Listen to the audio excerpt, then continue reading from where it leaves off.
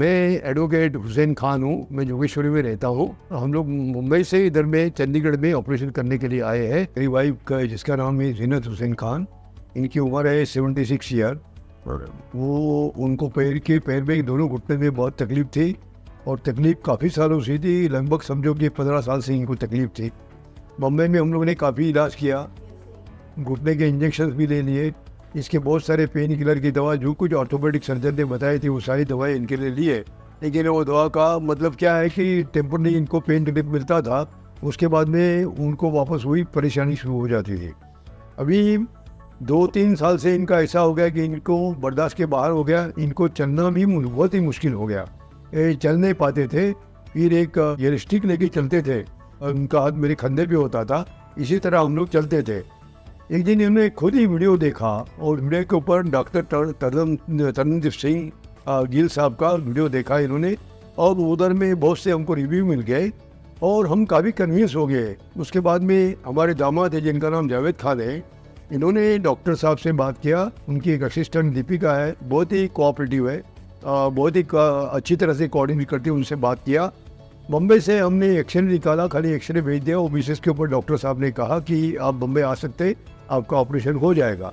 ये ऑपरेशन ये total knee replacement नहीं है बल्कि इसको रीसर्फेसिंग ऑपरेशन कहते हैं जो कि मैंने मुंबई में काफ़ी डॉक्टरों से पूछा। उन्होंने कहा नो आपको टोटल रिप्लेसमेंट नी रिप्लेसमेंट करना पड़ेगा।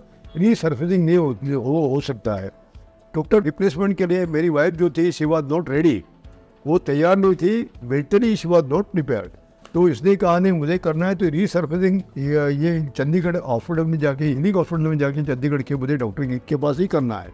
उसके मुताबिक हमने डॉक्टर गीत को कॉन्टेक्ट किया उनकी असिस्टेंट जो है डॉक्टर दीपिका उन्होंने बहुत अच्छी तरह से हमको सारी चीज़ें समझा दी और डॉक्टर साहब से हमारे दामाद जो जावेद खान है उन्होंने बात की कर ली और उसके बाद में हम कन्विंस हो गए कि हमको ये सर्जरी करना है। इसी तरह हम छः तारीख को जो है बम्बे से आ, हम लोग चंडीगढ़ आ गए। और सात तारीख को इनका एडमिशन हो गया।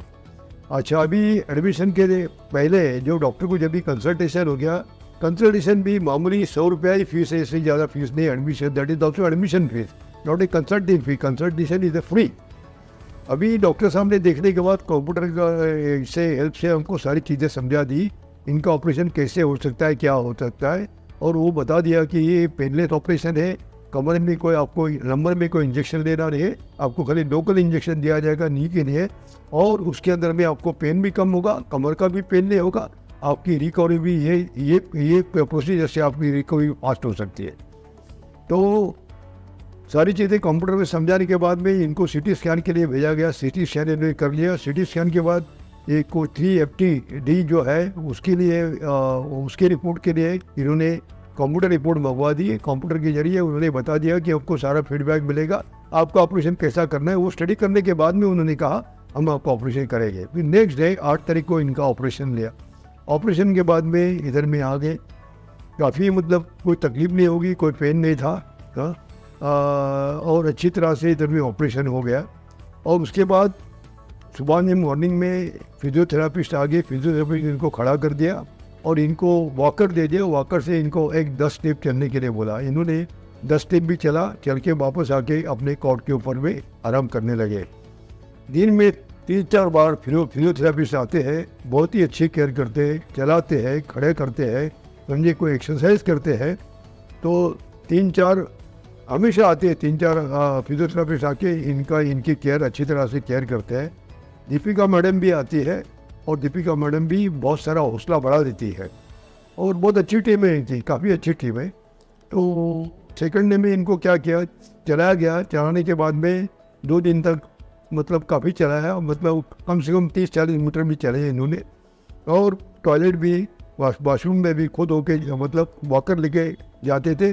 और वॉकर से जाके बैठते थे टॉयलेट चेयर के ऊपर में आते थे। तो इनको तकलीफ़ नहीं होगी। उसके बाद में इनका जो पैर के पैर में ज़्यादा सूजन भी नहीं आई हम कोई सूजन नहीं आ गई और अच्छी तरह से अभी चल पाते हैं। और ईशान हमको कल छुट्टी मिलने वाली है और उसके लिए हम प्रिपेयर है घर जाने के लिए।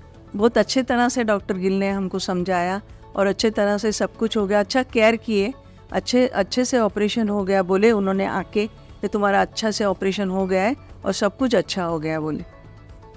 अच्छा अभी मैं डॉक्टर गिल साहब को थैंक देना चाहूँगा कि has really treated her with love with lot of care with lot of compassion and we are very much happy and secondly इस treatment are very very effective and इनकी जो ट्रीटमेंट है, इनका जो पेशेंट के साथ में जो तरीका है रहने का, ये करने का, बात करने का और पेशेंट को दिलासा देने का it is more than medicine it is effective more than medicine बस हम खाली अल्लाह से ये दुआ करते हैं कि भाई इनको जो है अल्लाह ताला बहुत ताकत दे, बहुत पेशेंट के पेशेंट के सक्सेसफुल ऑपरेशन करे और हमेशा आपके प्रोफेशन में कामयाब कामयाब रहे।